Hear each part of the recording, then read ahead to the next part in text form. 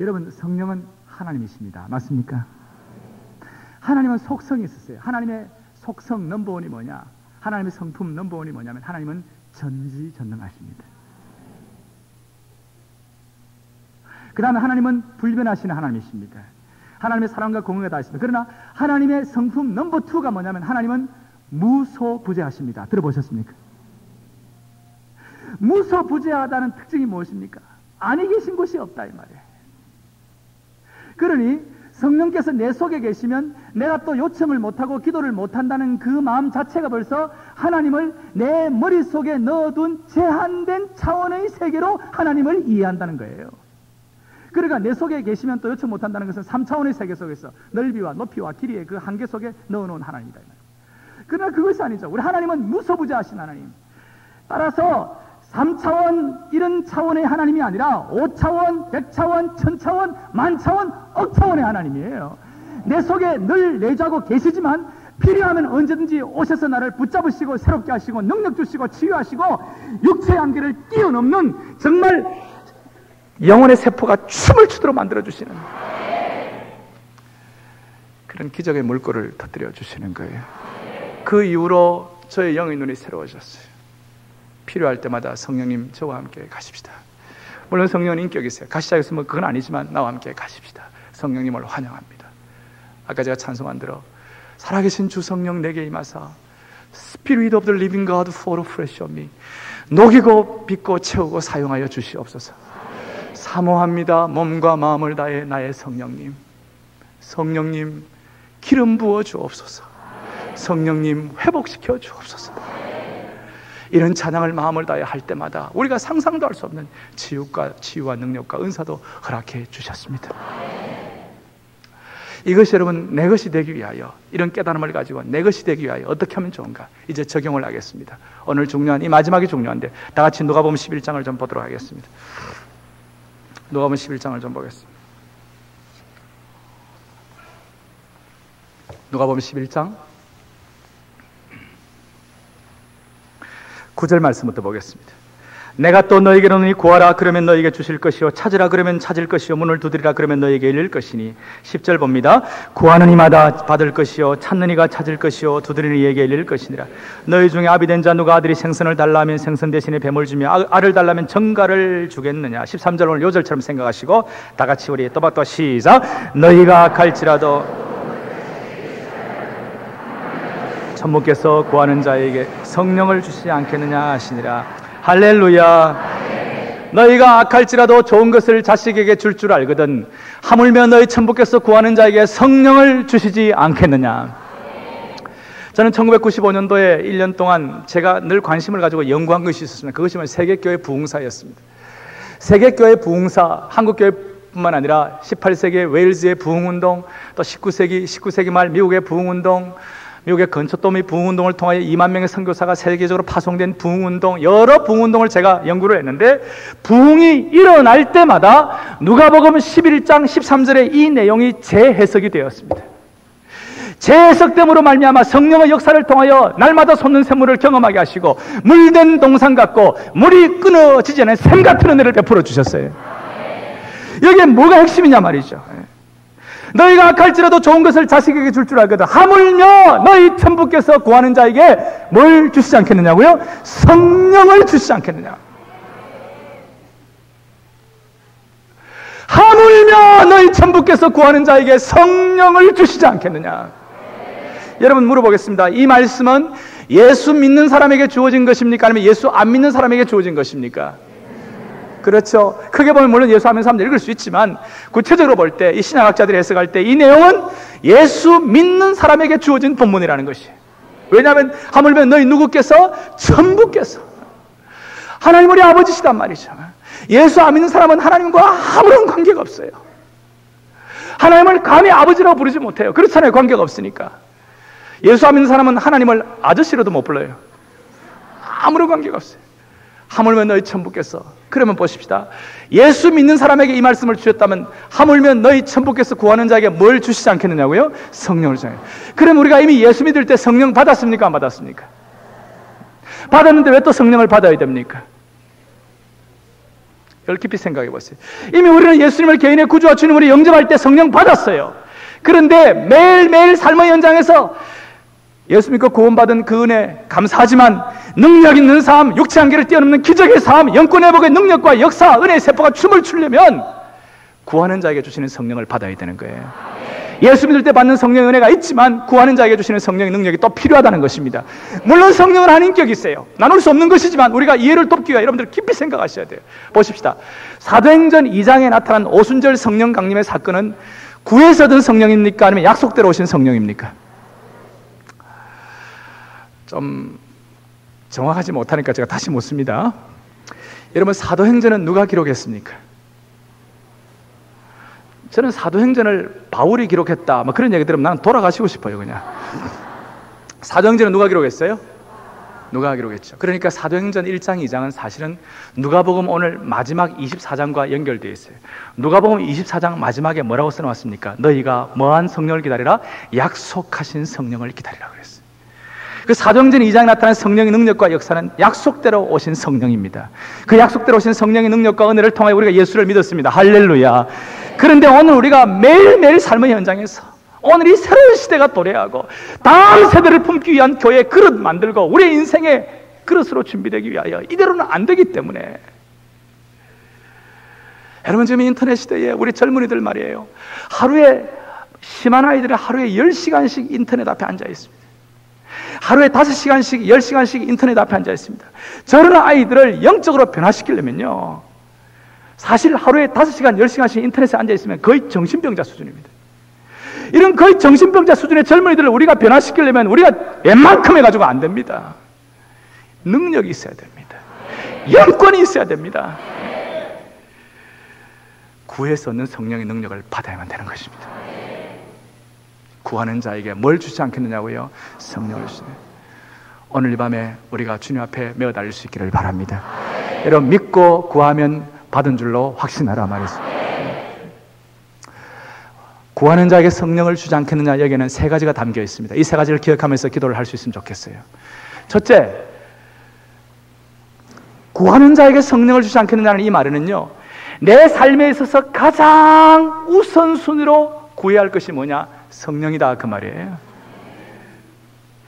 아까 바디메오에게 예수님 지나가시다가 내가 너에게 못해 주기를 원하냐 물었을 때에 보기를 원하니다 마찬가지로 오목사에게 저에게 물었을 때 우리 모두가 물었을 때 이 연말에 주여 내가 다른 것 없고 날마다 성령 체험만 하나는 사람 되기를 우선순위로 구합니다. 사랑하는 여러분 사막에서 물이 떨어져 가지고 지금 목숨이 경각간에 달려 있어서 목말라 죽어가는 사람에게 여러분 그 집에 그 사람에게 무슨 좋은 집이 왜 필요합니까? 지금 죽기 직전인 사람에게 무슨 밍크 코드가 왜 필요합니까? 지금 죽기 전에 사람에게 좋은 차가 왜 필요합니까? 사막에서 물 떨어져서 죽기 직전의 사람에게 제일 필요한 것은 물이에요. 물, 물, 물, 물, 물. 물론 가정적으로 어려움도 있고 자녀들도 부모에게 참 골 때리는 자녀도 있고 힘들고 어렵고 있을 수 있지만 여러분 그 골 때리는 자녀 때문에 고민할 필요 없고 그 순간에 주여 이 자녀를 고쳐줘도 그게 문제가 아니고 주여 이 순간 구하는 자에게 성령의 능력을 물부터 부어 주시옵소서 말이죠. 그러면 자녀들이 부모의 그 기도를 보고 능력을 보고 처음에 제가 말씀드린 대로 진리를 외치면 능력이 나타나는 것이 아니라 능력을 보여주고 진리를 증명하는 시대로 바뀌었단 말이죠, 지금. 물 떨어진 사람에게 필요한 것은 물이 가장 중요한 것입니다. 얼어 죽기 직전에 있는 사람에게. 남극 지점에 탐험하다가 지금 어쨌든 잘못돼가지고 길을 잃어버려가지고 그 추운 일기 가운데서 동사하기 직전에 있는 사람에게 제일 필요한 것이 무엇입니까? 좋은 위치, 뭐 좋은 집, 뭐 심지어 좋은 주위의 사람 그것이 중요한 거죠. 지금 얼어 죽, 기 직전에 있는 사람에게 가장 필요한 것은 여러분 온몸을 녹일 수 있는 불인 줄 믿으시기 바랍니다. 구하는 자에게 성령을 주지 않겠는가? 제일 중요한 것은 가장 우선순위로 구해야 할 것이 성령이라는 것입니다. 오늘 한국 교회와 한국 사회와 정치적인 갈등과 혼돈 속에서 우리에게 참으로 소중한 것 마음가짐을 다시 새롭게 하는 신앙의 기본 진리, 원점으로 돌아가는 것. 주여 구하는 자에게 주시는 성령을 허락하여 주시옵소서. 다른 길이 없습니다. 두 번째로는 구하는 자에게 성령을 주지 않겠느냐 이 말에는 뭐가 담겼느냐 좋은 것이 에게 다 들어있어요. 이 기도하게 되면요 여러분 하나님이 가장 좋은 것 주신다는 걸 믿으시기 바랍니다. 왜냐하면 이 기도 하게 되면 이 기도 자꾸 하다 보면요. 평소에 불만스럽게 느껴지던 것까지도 하나님 앞에 감사한 제목으로 바뀔 수 있도록 우리의 영의 눈을 열어주시는 것입니다. 좋은 것이 여기 다 들어있습니다. 그리고 구하는 자에게 성령을 주지 않겠느냐. 제일 중요한 것. 구해야 주시는 것입니다. 구해야 주시는 것입니다. 오늘 밤에 이런 마음의 소원을 가지시기를 바랍니다. 제가 좀 더 드리고 싶은 말씀이 많은데요. 내일 새벽에 또 해야 될 거 아닙니까? 내일 새벽에 제가 성령의 능력과 영권 회복 두 번째 제가 로마서 8장 가지고 갈 것입니다. 중요한 것은 오늘 이걸 여러분들이 적용하는 것입니다. 아마 이 명성재단은 성령의 기름 부심이 충만한 재단입니다. 그런데 주막 간편이라고 달리는 말에 채찍질 한다고 좀 더 큰 은혜를 받기를 주님 앞에 사모하시기를 바랍니다. 제가 보니까 성령의 능력과 은사를 부릴 듯하게 하시는데도 안 되는 사람들이 있더라고요. 대체적으로 성격이 너무 이기적인 사람들. 성격이 너무 부정적인 사람들. 너무 똑똑해가지고 제가 미국에 서울대학교 법대 나오고 미국에 유명한 한인회 회장하시고 뭐 미국을 움직일 만한 이민자로서 똑똑한 분이었어요. 근데 한국에서 그 어, 아주 순수하고 소박하게 아주 어, 복음을 전하시는 아주 그렇지만 능력 있는 목회자가 계셨어요. 제가 누구라고 말은 안 하겠습니다.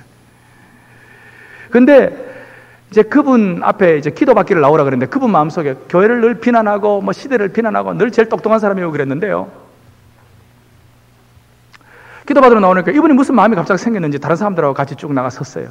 섰는데 이 기도해 주시는 소박한 한국의 능력 있는 목사님이 그분 얼굴을 딱 보더니 너는 안 돼. 그러고 쫓아내 버리더래. 이분이 거기서 뒤집어져 버린 거예요. 내가 안 돼? 그러면서 깨어지기 시작해가지고. 소박한 마음으로 세상적인 똑똑함 다 버리고 여러분 이기적인 사람, 너무 성격이 부정적인 사람, 또 성격이 너무 내성적인 사람. 오늘 이런 분들 주여 내 성격을 고쳐주셔서 구하는 자에게 주시는 성령을 받게 하여 주시옵소서. 여러분 우리 하나님은 부유하신 하나님인 줄 믿으시기 바랍니다. 우리 하나님 부유하신데 우리가 너무 가난하게 살면 안 됩니다. 내가 말하는 것은 영적으로 말하는 것입니다. 영적으로 너무 가난하고 초라하게 살면 안 되는 것입니다. 우리 하나님 부유하신데 우리도 동일한 부유함을 체험할 수가 있다는 사실을 믿으시기 바랍니다. 구하는 자에게 주시는 성령의 능력을 사모하시기를 바랍니다. 오늘 이 밤에는 아마 젊은이들도 있고 아마 신학생들도 있을지 모르겠어요. 다른 거 없어요. 한국 교회를 위해서 우리가 여러 가지 많은 진단을 하고 있습니다만은 다른 것 다 차치하고 다 두고 구하는 자에게 주시는 성령을 받아야 될 줄로 믿으시길 바랍니다. 여러분 다 일어나시겠습니다. 일어나셔서 이 시간 기도하면서 주님 앞에 메어 달리겠습니다. 주님 역사하시면 이 시간 베풀 만한 자비를 베풀어 주시면 기름 부음의 역사가 임하게 될 줄로 믿으시길 바랍니다. 손을 이만큼 올려보십시오. 주의 보혈 능력이 또다 저와 함께 찬양합니다. 주의 보 능력이 또다 주의 피 믿으오 주의 보혈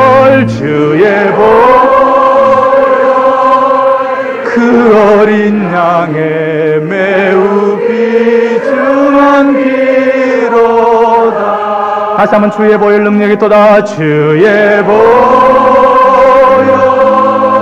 능력이 또다 주의 피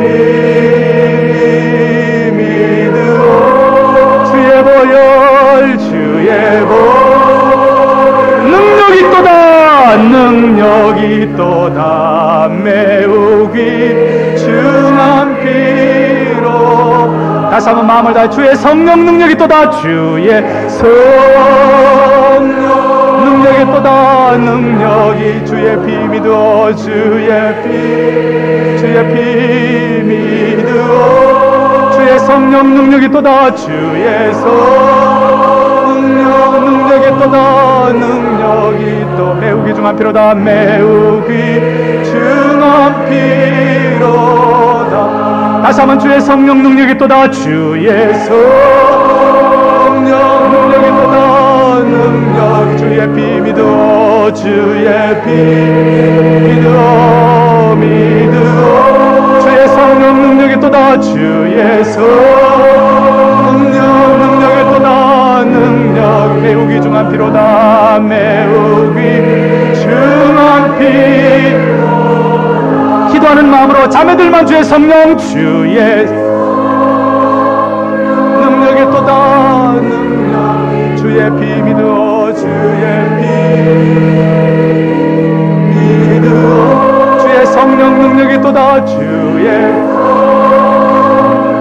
능력이 또다 능력. 매우 귀중한 피로다 매우 귀중한 피. 참으로 사모하는 다 함께 한 번 더 주의 성령 능력이 또다. 주의 성령 능력이 주의 피 믿어. 주의 피 믿어. 주의 성령 능력이 또다. 주의 성령 능력이 매우 귀중한 피로다. 매우 귀중 사랑하는 여러분 믿고 구하면 받은 줄로 확신하시기를 바랍니다. 믿음의 눈을 여시기를 바랍니다. 여러분 손을 든 채로 저를 한번 따라하겠습니다. 주여 은혜를 주옵소서. 주여 은혜를 주옵소서.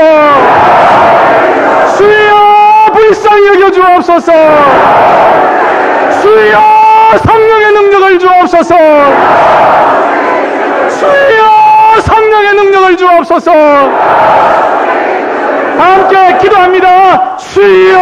우리들을 불쌍히 여겨 주옵시고 하나님 아버지 하나님 아버지. 하나님이여 하나님이여 우리를 불쌍히 여겨 주시길 원하고 기도드립니다. 하나님 아버지 하나님이여. 구에서 받는 성령의 능력을 물붙듯하게 하여 주시기를 원하고 기도드립니다